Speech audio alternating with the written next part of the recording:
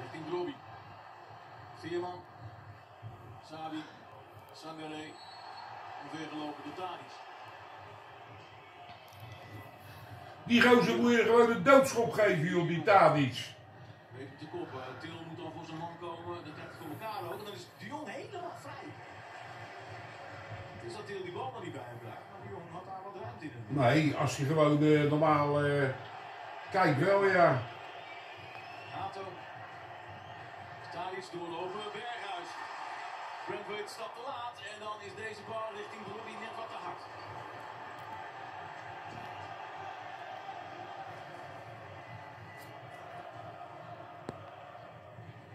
Berghuis. Illich.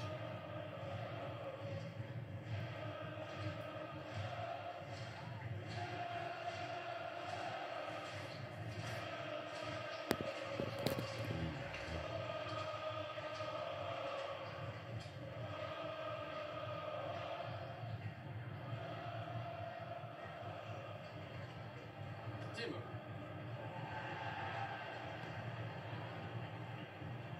Berghuis.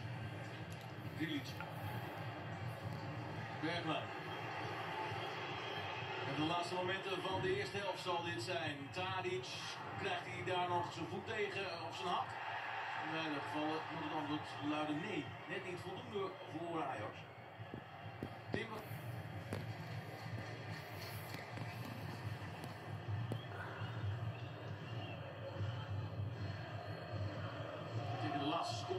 van de eerste helft.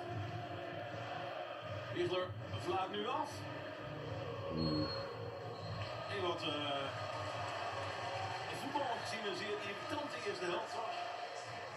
They are eating the peanuts that the birds are left.